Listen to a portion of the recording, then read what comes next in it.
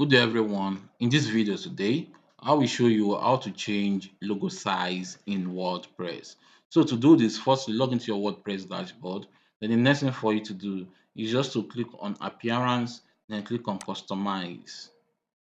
So when it has finished loading, you can just click on Header Builder, then site title and logo. So select the logo of your choice.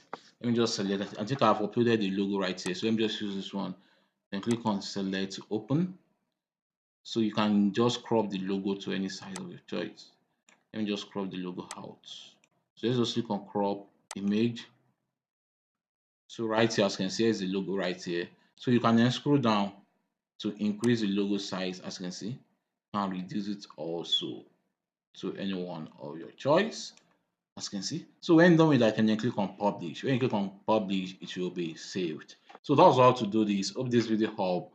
Please give it a thumb up and don't forget to subscribe to our YouTube channel. See you in the next video.